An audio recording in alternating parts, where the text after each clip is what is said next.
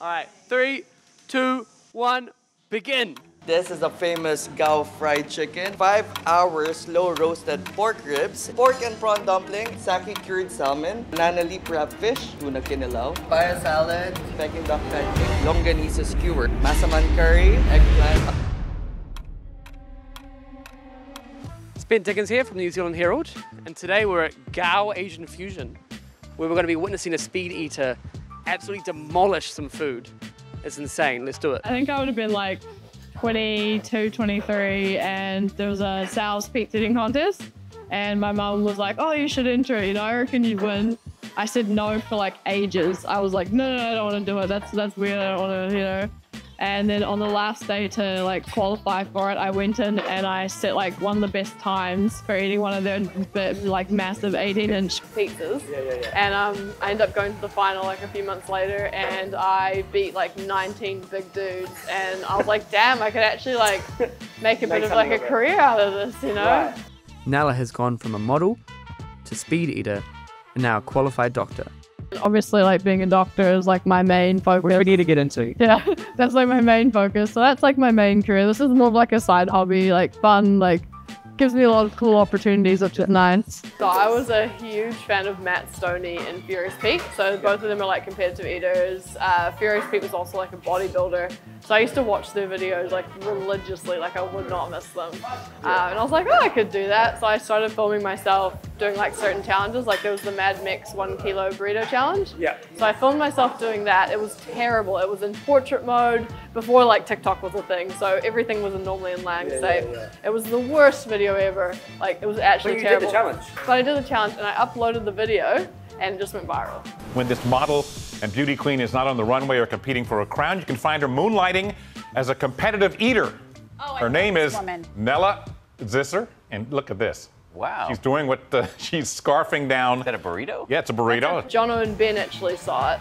And then they asked me to like come do some stuff with them. So I did like a lot of stuff with Jono and Ben in the beginning. And They, is that kind of how like some traction at least in New Zealand kind of started? yeah, well kinda they, got- they actually got me over to America to compete in Nathan's famous hot dog eating contest. Nela, we've got you here today because we want to send you to the World Hot Dog Eating Champs in New York. Oh my god, that's crazy. Thank you so much, guys.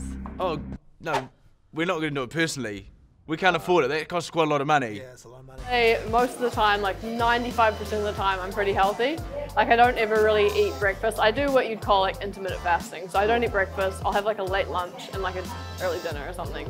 So I'll tend to stick to my meals like one to two meals a day. I'll eat all my calories in that kind of like time frame. Yeah. I'm not like a snack or anything like that. I zone out. Like when I'm doing a challenge or a contest, like I like kind of I'm in the zone. I'm just thinking about being able to finish something in a certain amount of time. The bigger challenges you feel a little bit uh, for the rest of the day, but by the next day, once you sleep on it, you wake up and you feel like Once a you million bucks sleep again. and you've got up. yeah, it's like a to re- it's like a reset.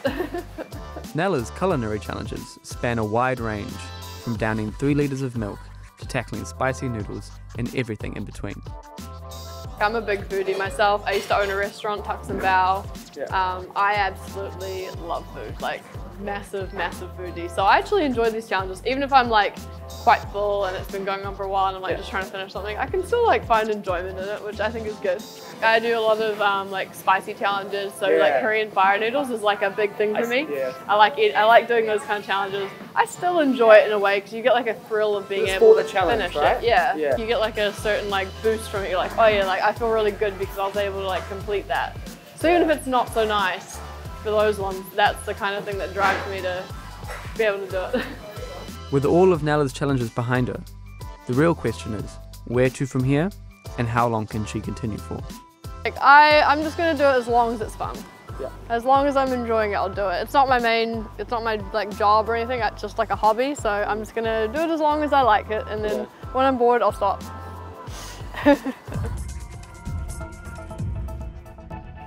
Thanks for checking out our YouTube channel to stay up to date with all the latest news from the New Zealand Herald. Click the subscribe button below or check out one of the videos here and head over to nzherald.co.nz for more details on these stories and more.